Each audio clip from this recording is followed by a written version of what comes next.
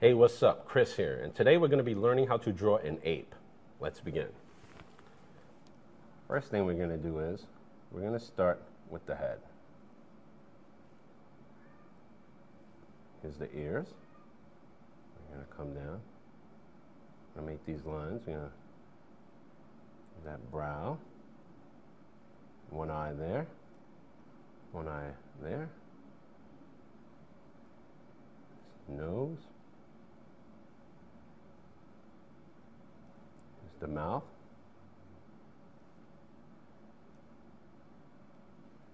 And here's the chin. Here's the other ear. There is the eyes. Now we're going to come down and we're going to give the arms. And draw the fingers that way.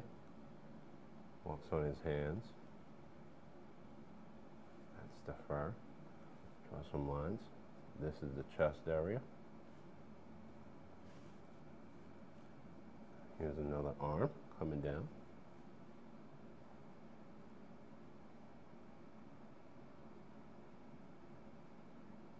And here are the fingers.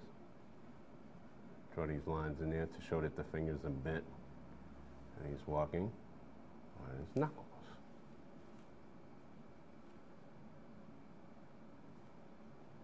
And this is the knee. There's some lines there. And here are the toes.